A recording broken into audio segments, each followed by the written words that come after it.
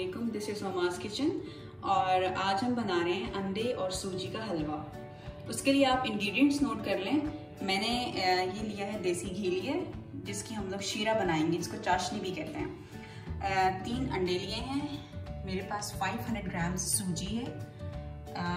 Three fourth cup जो है वो शुगर लिए मैंने।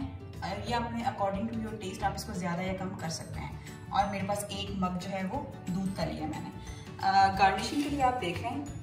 मैंने इलायची का पाउडर पाउडर लिया है। बादाम है, कोकोनट है, नारियल और मेवा लिया अब हम आते हैं अपने सबसे फ़र्स्ट स्टेप पे कि हम क्या करने लगे हैं। मैं सूजी को डाल रही हूँ, इसको मैंने भूनना है।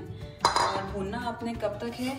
जब तक कि इसकी अच्छी सी खुशबू जो है वो आने लगे तो आपने इसको उतार देना है। ज़्यादा आपने इसको नहीं पकाना और ना ही जलाना है। अभी जो हमारे पास मौसम आ रहा है, वो विंटर्स का आएगा इन तो उसमें जो है ये सूजी का हलवा, अंडों का हलवा बहुत ही मज़े का लगता है। तो मैं अपनी जो रेसिपीज़ हैं, उनमें विंटर्स की चीज़ें भी कुछ शामिल करना शुरू हो गई हूँ। तो इन अगर आपको कुछ और भी चाहिए हो रेसिपी में तो आप मुझे ज़रूर कमेंट्स में फरमाइश कर सकते हैं, बता सकते हैं।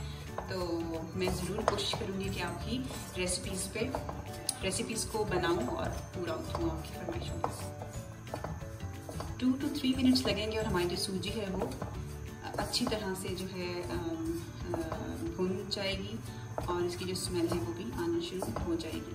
चम्मच आपने नहीं छोड़ना, हिलाते रहना है, अगर वरना जो है सूजी एक ही जगह रहेगी तो उस रहने से फिर इसको, ये जल भी सकती है, जलना शुरू हो जाएगी। इसलिए आपने इसको मुसलसल चम्मच हिलाते हैं फ्लेम आपने लो रखना है चूल्हे की आँच को बिल्कुल आपने मीडियम रखना है ना ज़्यादा तेज़ और ना ही ज़्यादा स्लो और हमारी जो सूजी है वो ऑलमोस्ट भुन चुकी है और मैं उसको उतारने लगी हूँ।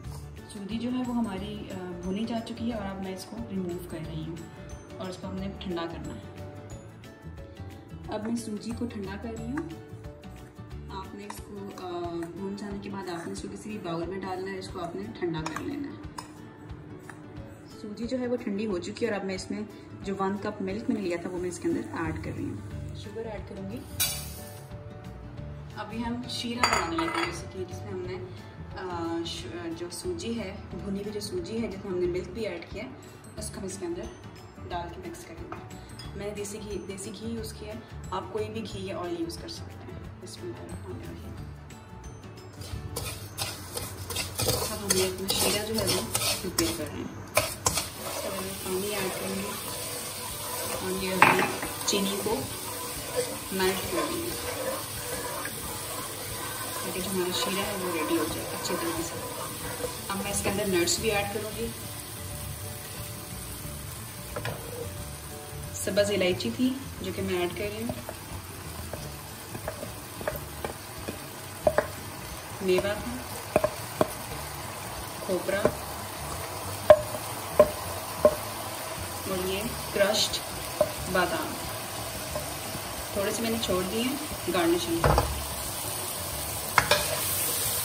ये सब चीज़ों को फ्राई करेंगे अच्छी तरह ताकि ये शीरे में मिक्स हो जाए चीज़ें आपने ये ख्याल रखना है कि जो सूजी है, उसमें मिल्क ऐड करने से पहले आपने उसको अच्छी तरह से ठंडा कर लेना अगर आप गर्म सूजी में मिल्क ऐड करेंगे तो आपकी गुटलियाँ बन जाएँगी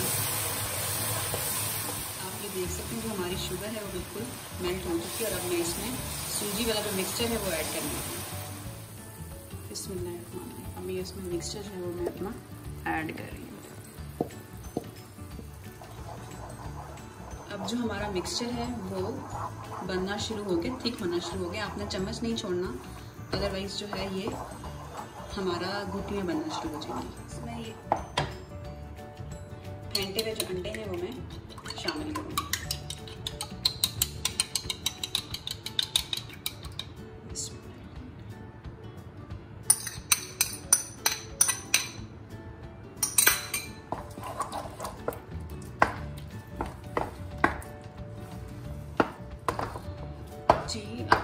देखें जो हमारा सूजी का हलवा है, बहुत अच्छी तरह से रेडी हो चुका है। बहुत ही मज़े की जो खुशबू है इसकी, वो आ रही है। लेकिन हैवी बहुत हो जाता है ये। आपने इसको ध्यान से जो है वो पकाना है और फुल ज़ोर से आप चम्मच जो है वो चलाएँगे इसमें। ठीक है? अगर आपको मेरी रेसिपीज़ जो है वो पसंद आ रही हैं तो प्लीज़ मेरा चैनल लाइक और सब्सक्राइब करें और अपने फ्रेंड्स के साथ इसको शेयर करें। ये आप देख सकते हैं सूजी और अंडों का हलवा जो है उसकी फाइनल प्रेजेंटेशन कैसी है। मैंने ये क्रस्ट की बादाम इसके ऊपर स्प्रिंकल किए हैं। और आप इसके ऊपर पिस्ता भी कर सकते हैं, जो नारियल है वो भी कर सकते हैं। तो बहुत ही मज़े की डिश बनी है हमारी। सर्दियों के लिए, सर्दियों की सौगात है ये। और अगर आपको मेरी जो चैनल है वो पसंद आ रहा है, मेरी वीडियोस आपको अच्छी लग रही हैं तो प्लीज़ मेरा चैनल लाइक और सब्सक्राइब करें। और मज़ीद नई वीडियोस के लिए देखते रहिए, ओमास किचन। थैंक यू, अल्लाह हाफिज़।